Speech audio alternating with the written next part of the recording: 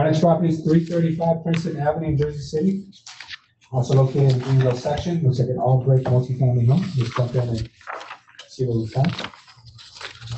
Okay, uh, it does appear to be a two-family property, uh, two-family home from the, uh, property sheet we have here.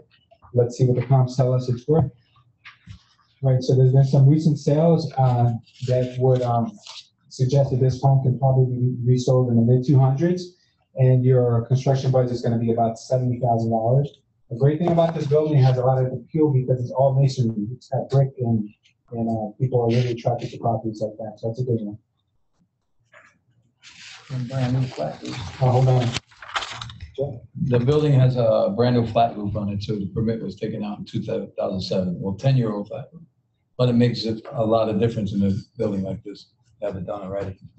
that's always a plus, because flat roofs could be a problem.